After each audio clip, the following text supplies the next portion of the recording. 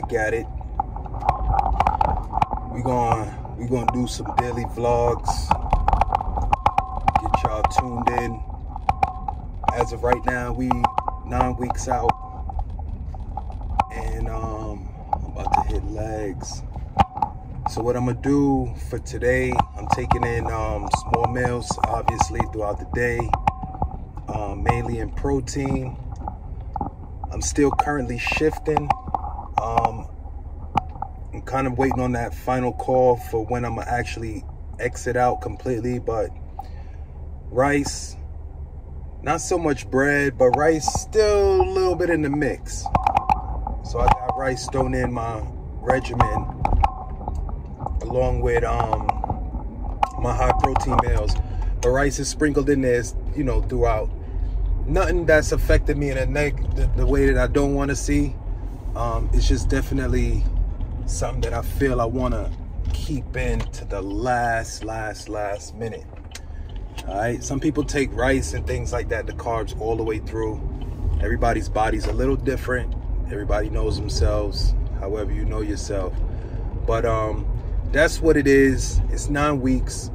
Today, Monday, August uh, 28th.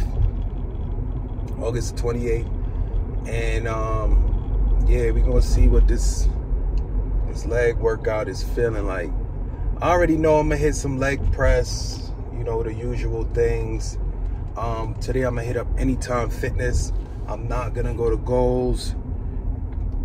Right now, Gold's comes with a crazy crowd, so I figured I'm gonna pull up to the spot with like little to no no extra heads. I don't need to see nobody else crowding up the machines that I want to use. So I'm gonna go ahead and hit up a gym that I'm guaranteed to get the machines. If y'all know anything about Anytime, it's definitely a gym that does not get crowded, right? 24 hours doesn't get crowded. And I know when I'm trying to hit a specific workout, I got everything dialed in. I'm really looking forward to getting the machines that I want at the time that I want. But I'm gonna hit it up. It's gonna be at least three, four exercises.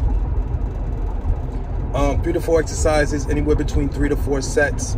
I always hit up a warm up set um, beforehand. Actually, it's three warm up sets. I usually start out with um, a lightweight and I hit a low amount of repetitions. All right. So again, I start with a lightweight and I hit with low reps. So lightweight, I'll do 10 reps. I'll make it a little heavier and then I'll do 12. I'll make it a little heavier, then I'll do 15. Some people go the other way around. They actually start out with the lightweight and they go really, really high in repetitions. And then they narrow down those repetitions as the weight increases.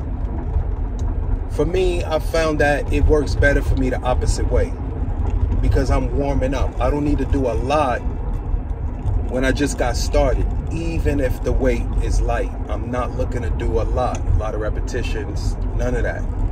So I start with lightweight, low reps. As I increase the weight, I increase the reps. Now, as I get higher and higher up to the weight that I want to see, usually I'll drop the reps to whatever amount I feel I need to work with for that weight. I don't really, you know, you don't want to get too crazy with it and continue going up in weight expecting to do more and more repetitions. Eventually you hit a point where you're going to have to dial your repetitions down just a smidge to make sure you executing the regimen that you have dialed in, with whatever you have programmed. So for legs, I'm gonna do that. What I also do on my leg days is I do abdominals and I do calves. For abdominals, I hit it just like I hit shoulders, all right? I hit my obliques on one separate exercise. I hit my upper abs on another exercise. I hit my lower abs on another exercise. And a place that a lot of people, I say a lot of people, I don't know who does and who doesn't, right? But a place that me personally myself used to leave out was the lower back. All right. You want, I personally like to execute all the areas in that core area, right? Upper abs, lower abs, obliques, and lower back. So you hitting back, front, and sides. When it comes down to the lower back, all I'm talking about is jumping on the hyperextension machine and um, putting your lower back to some work, right? You could do it without weights. You could do it with lightweight, moderate, and I encourage you, I don't care what you do. I don't encourage you to do anything. Just do whatever you're going to do. But I know with me, personally, my experience, heavyweight was not my thing. With um, heavyweight was not my thing with uh, the hyperextension machine trying to work my lower back. I found no weight or very lightweight was what worked best for me personally. You do you, whatever works for you. All right. Um, that's how I touch base with abs. Calves, it's a similar idea. Um, the biggest thing you could do with calves is you could get a different machine. I like to choose different calf machines. In this case, hitting up Anytime Fitness, the most you could do is um, you don't really ever have calf machines unless you hit up a Gold's Gym. When I say doing different calf machines, I'm basically talking about hitting the leg press and you know changing the machine to make it work for you so you actually work your calves. All right, you know, you change the range of motion, push it all the way back, make sure your calves get a nice, decent extension, and then you just work at it. The most you could do in that case, a lot of people like to say that they like to put their toes in, put their toes equal or parallel, and then they like to point their toes out. Different things like that. A lot of people like to throw in. I personally don't add in all the extra. The most I do whenever I change my calf exercises, I'm just looking for something different. I'm not necessarily going for X, Y, and Z just because it's going to make my calves look a certain way. My calves will look how the genetic potential will allow it to uh, to look. So I'm not worried about that. I do understand that the calf will take on a certain shape. Like you might notice your soleus coming out more if you hit seated calf raises heavy it doesn't change. The muscle doesn't change itself. It's, it's whatever your genetics make it, however it makes it look, is what it's going to look like. But you might notice that it might be hanging out a little bit more. The size might just be a, a tad bit more bigger to your liking. And that's hitting the seated calf raise um, just to get a little difference on the look of the calf. All right. Um, so that's the most I do. If I add in any extra calf exercises, I'm only talking about hitting the, um, a basic uh, leg press. You can also do like the Smith machine, put a stepper under the Smith machine, get under the bar, line it up, get your calves extended, and then we'll go at it. So instantly you could dial in a bunch of different exercises for calves. You don't really have to um, stick to the two main ones, which is your calf raise, your seated calf raise and your, your standing calf raise.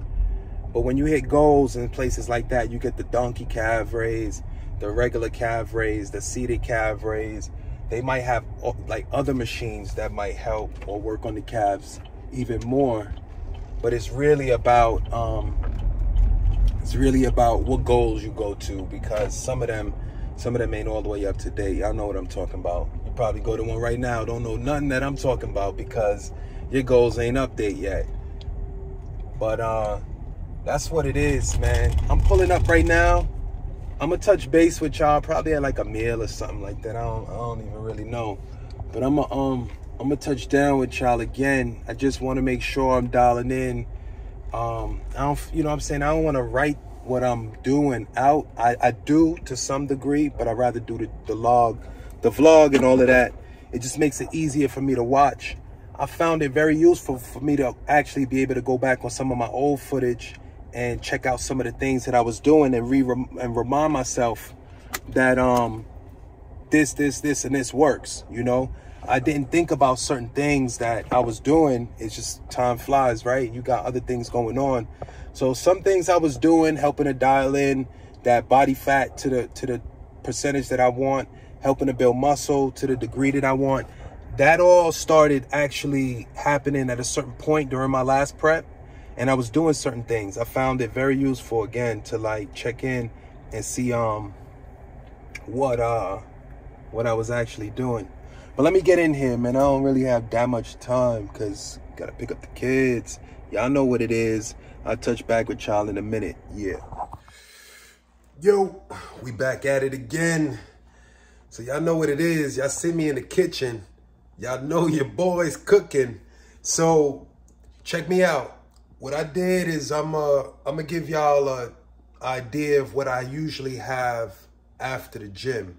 All right. Everybody goes different routes after the gym, depending on what your goal is, what you're trying to accomplish. You should aim and target different types of foods after the gym for recovery, for fat loss, whatever it is. I decided to choose this. So we're going to dive into it real quick. I'm going to show y'all my choice, why I chose it. I'm going to give y'all a little insight, a little special report. But y'all know what it is. Check me out. Boom. So right here, what we got, I got the grilled chicken breast. All right. It's actually grilled chicken um, in the little tenderloins. Um, it's not the chicken breast, actually.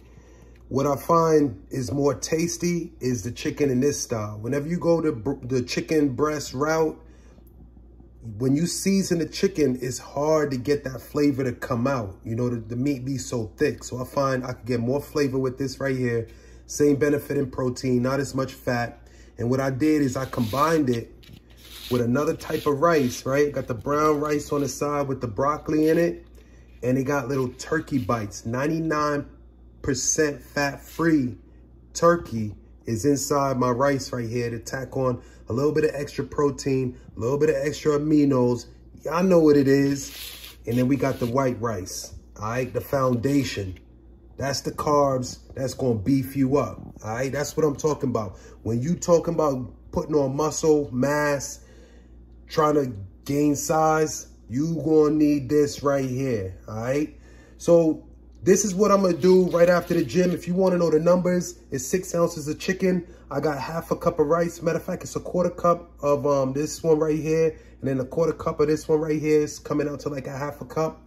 I'm going to hit up another meal in the next few hours. Most likely it'll be the, a protein shake to top off my aminos that's missing or um, any protein that might not be all the way there. We're going to seal the deal with that protein shake coming up in a few hours. But y'all know what it is. I'm about to throw this joint in the microwave. Bruh, it's about to be over. Yeah. Yo. Alright. Uh, we leaving Target right now.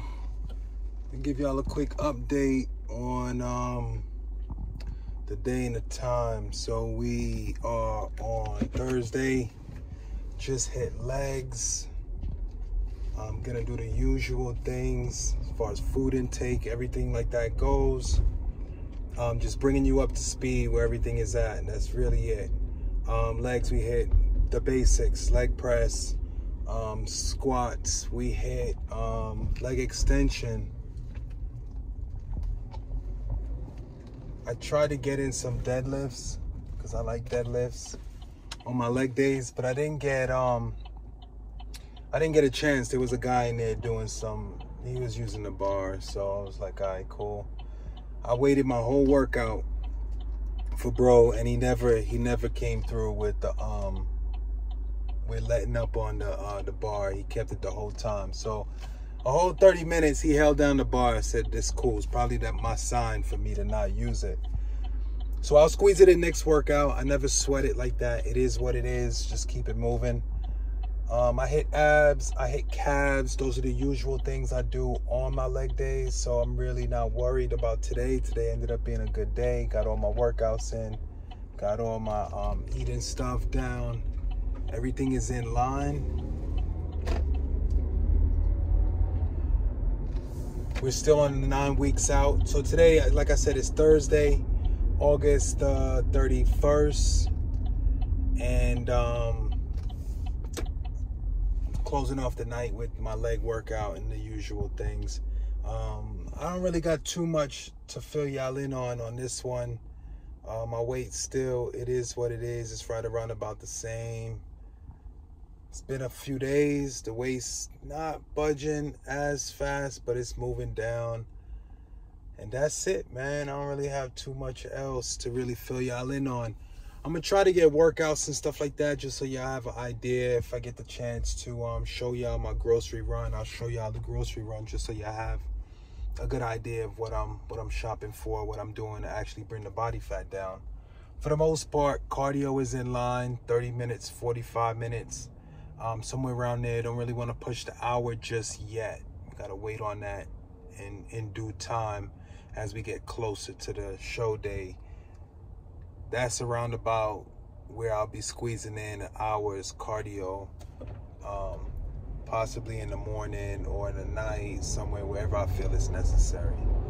But let me get up off this one, man. I want to hold y'all up too long. We going um we gonna close it here, and um, I'm gonna check back back in with y'all probably tomorrow on chest day.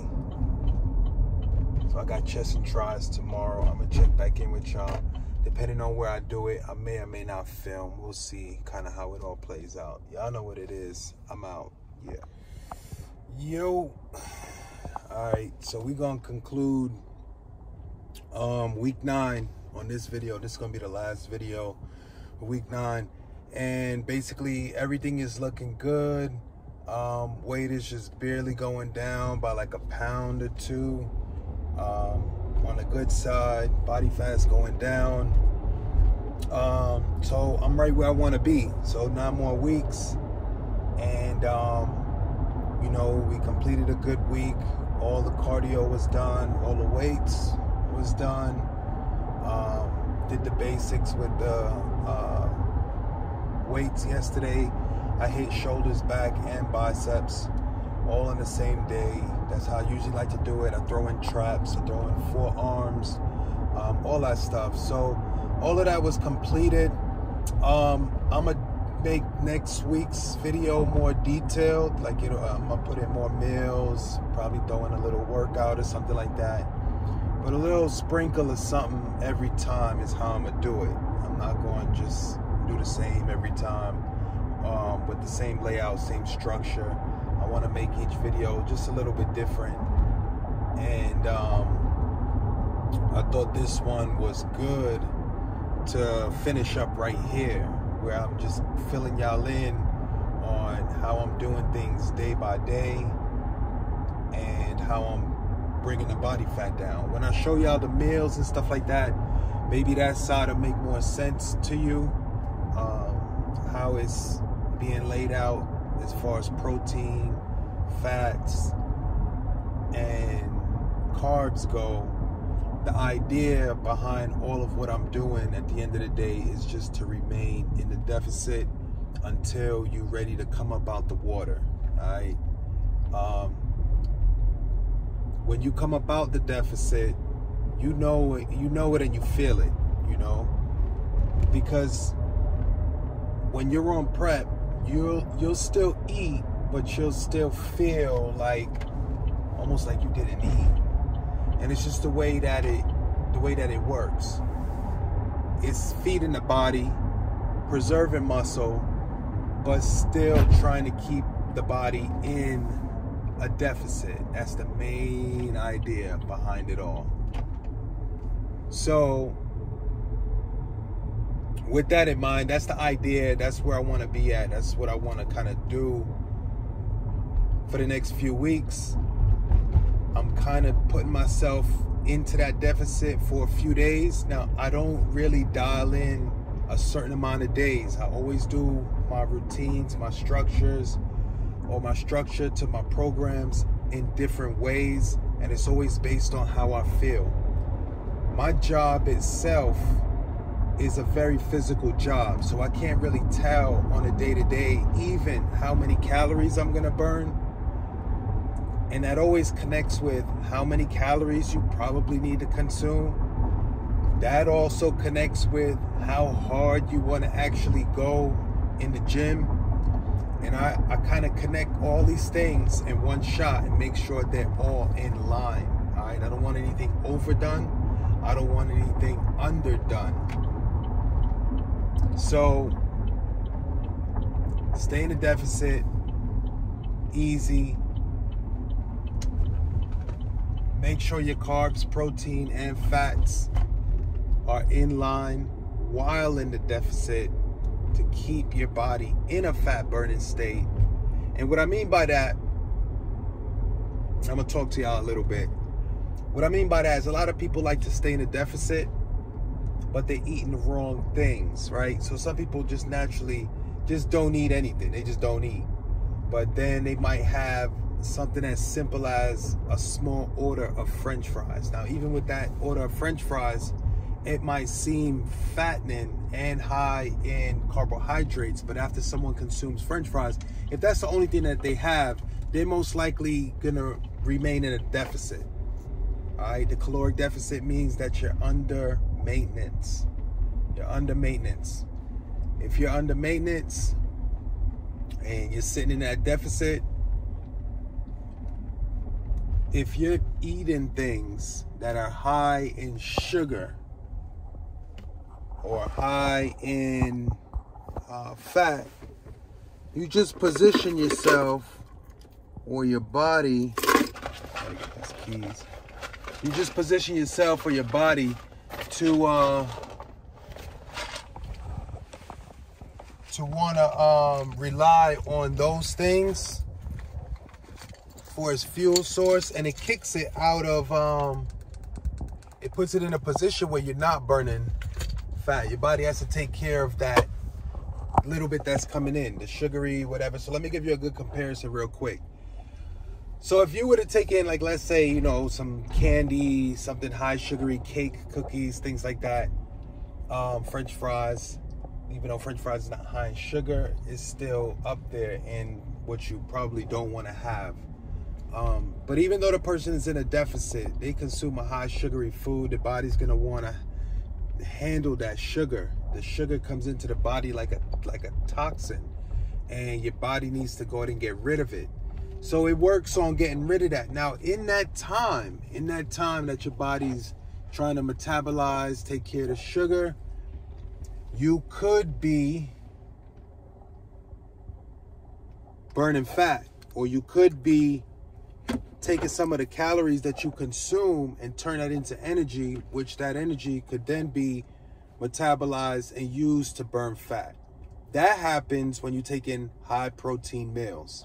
All right, the high protein meals hit a lot harder in the area of fat loss in comparison to high sugary foods, even though you're in a deficit. Now, at the end of the day, if you're set to lose a certain amount of weight, you're most likely still gonna hit that goal, but hitting it faster or going deeper. Let's say you want to lose one pound, let's try and hit one and a half to two.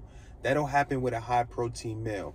Hitting the one pound, that'll happen with your sugary meal, just because maybe at some point in time your body decided to metabolize the sugary food and not deal so much mainly with burning fat. If you take in a high protein meal, especially remaining in a deficit. That's the idea behind prep. That's what leads your body to driving into like it just turns into a fat burning machine where that's all it wants to do, that's all it thinks, that's all it wants to handle. That's where you want to be. But let me get up off this one. It's the last video, this week nine right here. Um, and then we're going to start the week, the series for week eight.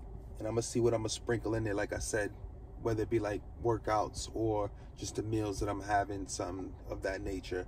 I'm gonna make sure I give y'all more details on how we taking this home, this this one home. But yeah, let me get up off this one. Y'all know what it is. It's your boy. I'm out.